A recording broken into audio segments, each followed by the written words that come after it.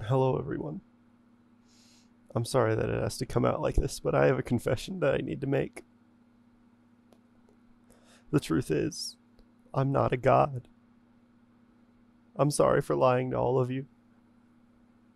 I know I shouldn't have done it, but I just I feel like I need to stop the lie. In truth, I'm a pancake. I didn't mean for it to come out like this. I didn't think you would ever have to know. I'm sorry for lying. I didn't mean to. I promise I won't lie to you guys again. I'm sorry.